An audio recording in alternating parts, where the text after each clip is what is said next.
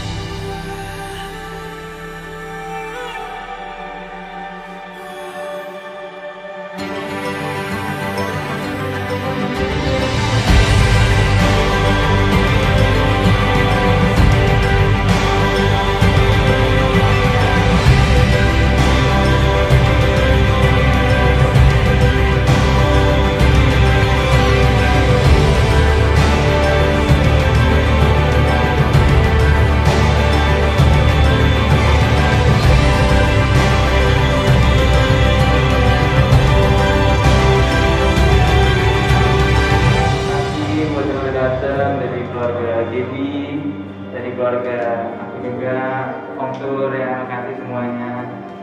Semoga pernikahannya bisa